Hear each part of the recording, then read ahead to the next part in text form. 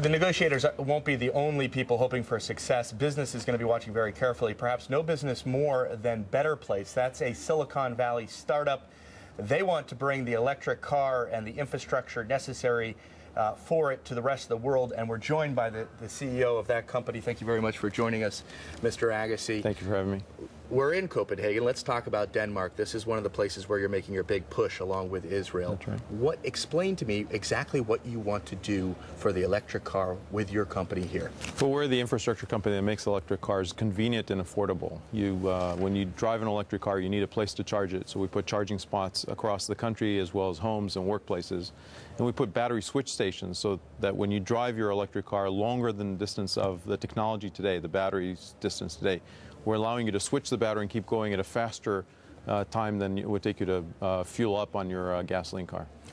There's a lot of components necessary for this. Obviously, one of the reasons why you chose Denmark is the, the, the, the, the government I understand that a consumer gets, if they buy an electric car, they get a $40,000 tax rebate. Explain that from, from the government. Well, it's got to be expensive cars, right? Some cars cost less than 40,000. Well, in Denmark, they have a taxation that is gradual. It goes from 100% all the way up to 180%, depending on the type of the car and the size of the car. So if you buy a car here, you pay the company once for the cost of the car, and you pay the taxman twice. Uh, pretty much so. Oh. They also have uh, a rule that's been in place that uh, on zero-emission cars, you pay zero tax. And so there's a huge tax taxation difference between gasoline cars and electric cars, which makes electric cars significantly more attractive. So do they not get taxed, the electric cars? Zero, zero tax and on What are the other cars. sort of pieces of the puzzle that, that uh, the government is providing? Well, you, you, you need somebody to coordinate the, uh, the effort across all government uh, offices. Connie Hedegaard, the former Minister of Climate here, was uh, a great champion under the, the uh, supervision of the uh,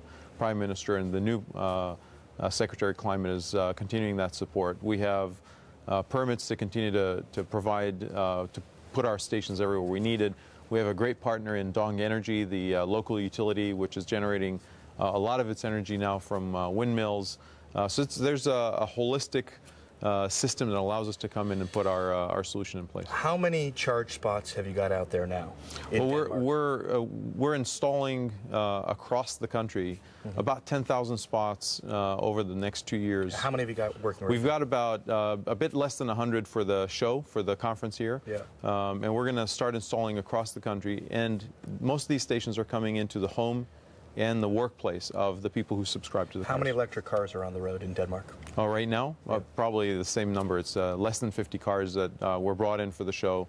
Uh, by um, 2011, 12, we're expecting to see about 1,000 cars coming every month. So in January of this year, you reportedly said you saw 100,000 charge spots in place by 2010, and you said you, you, you, thought there, there could be several thousand electric cars running on the roads. 2011, that was by the 2011. number. Right. So that, well, eh, okay, let's imagine it's 2011. Right.